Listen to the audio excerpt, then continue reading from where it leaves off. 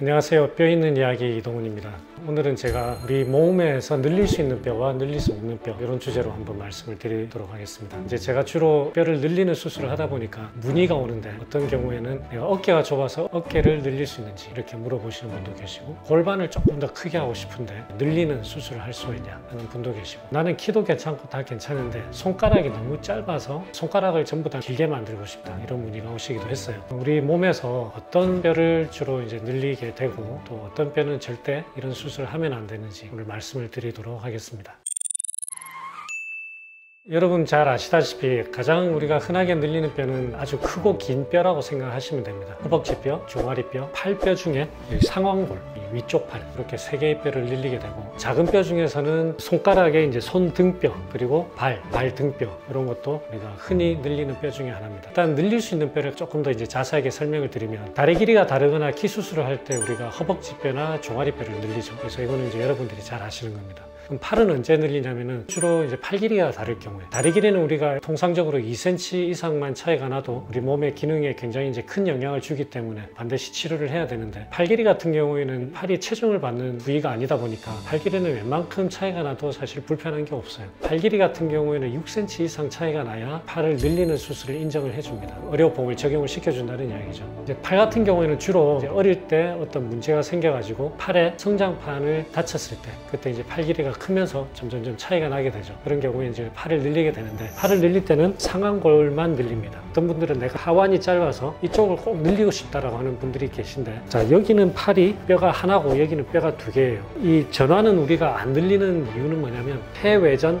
폐내전이라고 하는데 이렇게 돌리는 동작 이게 전환부 아래팔에서 일어납니다. 이 동작이 그렇기 때문에 우리가 뼈를 연장을 하게 되면 이 동작이 제한이 올 가능성이 굉장히 많아요. 가만히 한번 생각을 해보십시오. 이 동작이 제대로 안 되면 굉장히 생활에 불편한 점이 많아집니다. 삶의 질이 확 떨어집니다. 아주 간혹 선천성 기형일 경우에 우리가 치료적인 목적에서 이걸 늘리는 경우가 있어요. 있지만 그냥 단지 팔 길이가 짧다라든지 아니면 미용 목적이라든지 이런 경우에는 전화는 절대로 여러분들이 건드리면 안 되는 부위고 설령 어떤 의사가 이쪽 해봅시다 하더라도 절대 하시면 안 된다. 꼭 기억을 하시기 바랍니다.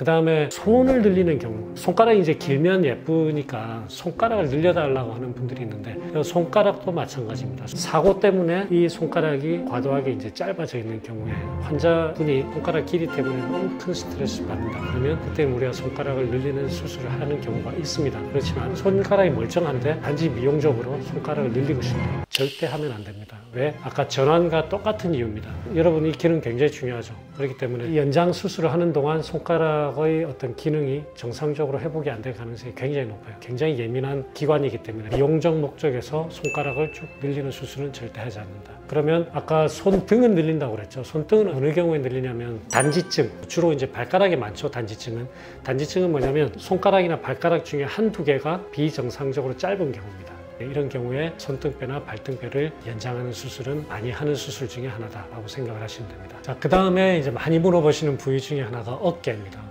남자분들 같은 경우에는 어깨가 넓으면 좋으니까 어깨를 좀 넓게 하고 싶다. 이런 경우에 이 쇄골을 좀 이렇게 늘리면 어깨가 넓어지지 않냐? 이게 구체적으로 물어보시는 분들도 계신데 실제로 쇄골이 짧아지면 어깨가 좁아집니다. 요즘은 쇄골 골절이 있으면 수술을 하는 경우가 많이 있거든요. 근데 옛날에 제가 전공의 할 때만 해도 쇄골이 부러지면 웬만하면 수술을 안 했어요. 쇄골이 부러졌는데 이게 이렇게 붙지가 않고 이렇게 겹쳐져서 붙었다. 그러면 한쪽 어깨가 이렇게 좁아지죠. 그런 이제 문제가 생길 수가 있습니다. 이런 문제가 생긴 경우에는 우리가 다시 뼈를 잘라가지고 늘려서 어깨 넓이를 맞춰줄 수가 있습니다. 이건 역시 그냥 정상적인 어깨에서 그걸 조금 더 넓게 하기 위해서 쇄골을 늘리는 수술은 하지 않습니다. 절대 받으시면 안 됩니다. 주변에 견갑골이라든지 이런 여러 가지 관절들이 같이 복합되어 있는 관절이기 때문에 어깨의 기능이 심각하게 손상될 확률이 굉장히 높습니다. 그래서 그런 목적에서는 절대 그런 수술을 하시면 안 된다. 알고 계시면 되겠습니다.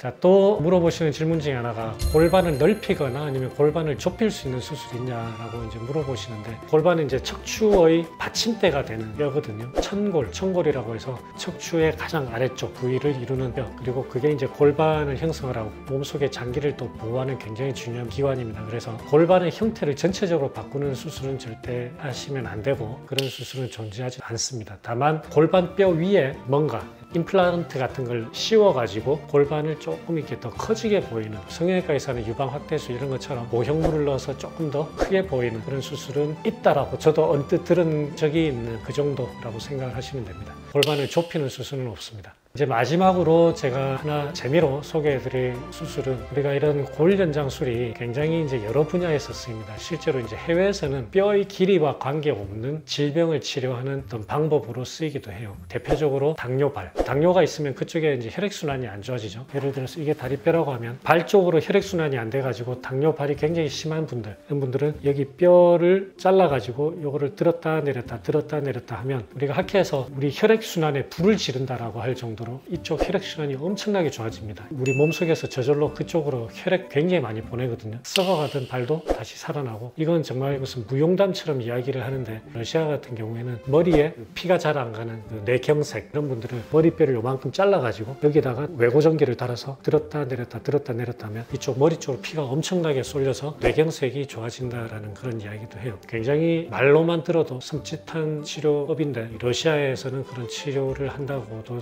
합니다. 있다. 그래서 오늘은 우리가 흔히 뼈를 늘릴 수 있는 부위와 늘리면 안 되는 부위에 대해서 설명을 드렸는데요. 다음 영상은 여러분들이 좀 기대하셔도 좋을 것 같은데요. 그 학회 가서 늘 강의하는 것 중에 하나인데 희수술의 역사.